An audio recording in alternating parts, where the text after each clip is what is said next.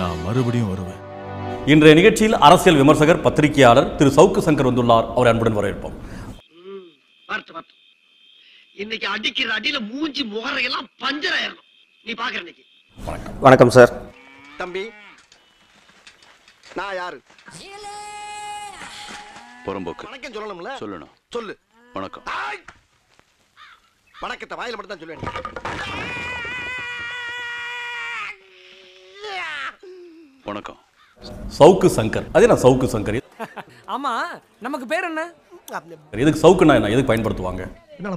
என்னையா? ஆமா நீ யாரு? உன் பேர் என்ன? நெருப்பு நீலமேகம். பார் உன்ன மாதிரி அங்கங்க அடமொழி வச்சு வாழ்ற வழி இல்ல நாங்க. ஆண்டாண்டு காலமா பரம்பரை பரம்பரை அடமொழியோட வாழ்ற குடும்பம்டா. நான் இதுக்கு முன்னாடி வந்து சவுக்கு தோப்பில் வேலை செஞ்சுட்டு இருந்தேன். இப்ப நீ சொன்ன பாத்தியா? இதுதான் உருட்டு.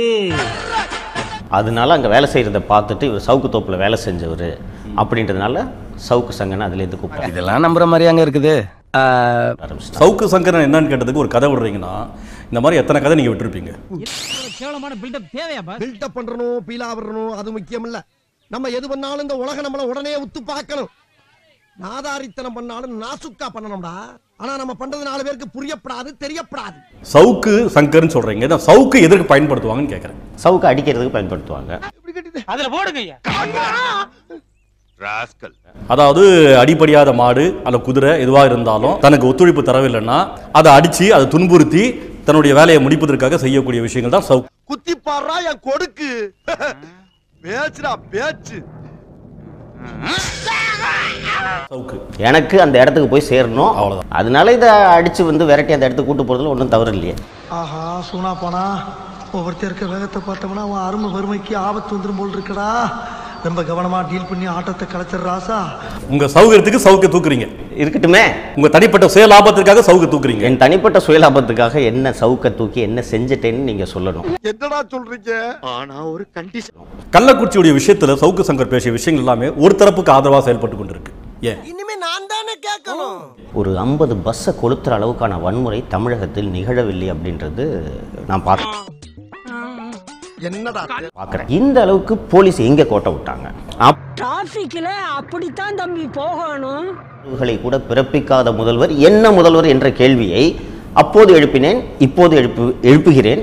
மீண்டும் எழுப்பு. எழுதுறீங்கன்னு கேட்குறேன் நான் சொல்றேன் இந்த கதையெல்லாம் நீங்க உருவாக்காதீங்க. அமைச்சர் போயிருக்கணும் காவல்துறை போயிருக்கணும் ஃபோன் பண்ணியிருக்கணும் உளவுத்துறை பார்த்துக்கணும் நீங்க ஏன் கதையை உருவாக்குறீங்க? கீழ்த்தரமான செயல்பாடுகள் தான் இந்த வன்முறைக்கு காரணம். இதுக்கெல்லாம் பேர் எனக்கு தெரியுமா? ஒரு நிமிஷம் எடுத்துக்கங்க. அழுத்தம் திருத்தமாக இருங்க, இருங்க முக்தார் இருங்க முக்தார். சொல்ற கேளு. இருபத்தஞ்சு வருஷமா என் மனசுக்குள்ள பூட்டி வச்சிருந்த என் குடும்ப ரகசியத்தை உன்கிட்ட சொல்லியிருக்கேன். கீழ்த்தரமான நடவடிக்கை என்னன்னு சொல்லுங்க நீங்க. அந்த பெற்றோர்கள் போய் கேட்கறாங்க என்ன கேக்குறாங்க?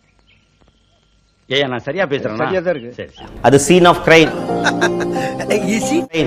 ரூமை ப்ரிசர்வ் பண்ணும் பொண்ணோட பேக்கை ப்ரிசர்வ் பண்ணணும். அண்ட் அந்த ஸ்டூடெண்ட்ஸ் எல்லாம் காவல்துறை விசாரிச்சு முடிச்ச பிறகு இவங்க போய் போட்டோம். யார் சாமி இவன்? எங்கிருந்து வந்திருக்கான்? சவுக்கு சங்கர் வந்துட்டு பள்ளி நிர்வாகத்தை பத்தி ஏன் பேச மாட்டேன் தம்பி! என்னண்ணே? ஏன் கத்துது? பிஸ்கட் தீந்து போச்சுண்ணே. ஏயா கத்துற? நாயை விட நீ கத்துற கத்துல என்ன கோர்த்து விட்டு போயிட இருக்கு திமுக இந்த கள்ளக்குறிச்சி கலவரத்தை மிகவும் சரியாக சிறப்பாக கையா சட்டை கிழிஞ்சிருக்கு. சண்டைனா சட்டை கிளியத்தாயா செய்ய? சண்டையில கிளியாத சட்டை எங்க இருக்கு? நல்லா கேக்குறாங்கயா டீட்டியல் கையாண்டாங்க. எது அந்த 50 பஸ்ஸை கொளுத்துனது வந்து ஆதாரத்தோட போகும்போது எப்படியா சேவ? பரவாயில்ல ஒரு உயிர் சேதம் இல்லாம அந்த வன்முறை கட்டுப்படுத்திருக்காங்க வாய்க்கா தகராறு இருக்கு.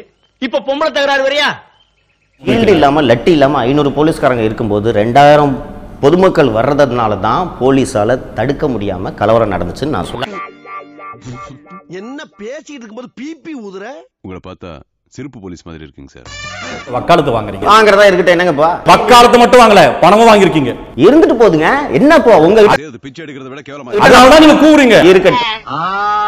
ராஜா அம்மா செல்லா ஒரே ஒரு தடவை கண்ணை முடிச்சு என்ன பாரு. அப்படியே ஒரே ஒரு தடவை ஊழ விடு. இத்தனை அந்த கல்வி நிர்வாகம் பண்ணது அயோக்கியத்தனம் இல்லையா? சார் இவனை என்ன என்ன பண்ண சார்? நியாயத்தை நான் பேசினா என்ன அண்ணாமலை பேசினா என்ன? சரி நாம் யாருக்கு என்ன தீங்கு செய்தோம் நமக்கு மட்டும் ஏன் இப்படி எல்லாம் நடக்கிறது கோவம் மூட்டி இப்ப அப்பாவி மக்கள் எல்லாம் உள்ள இருக்கிறாங்க. சின்ன. சின்ன பசங்க அவர்களோட வாழ்க்கையில இந்த சின்ன வயசு பசங்க எதுவும் போராட்டம் பண்ணதில்ல. வாங்க வந்து எழுதி விடுவாங்க. வாங்க. ஏய் நீ யாரா கோமாளி? இங்க வந்து யாரா? போனாங்க. சார். போங்க. ஏய், ஏய் இல்ல மறுபடியும் யாரா? போனாங்க. நீங்க இருங்க. ஹலோ. ஏய் ஏய். ஹலோ ஏய்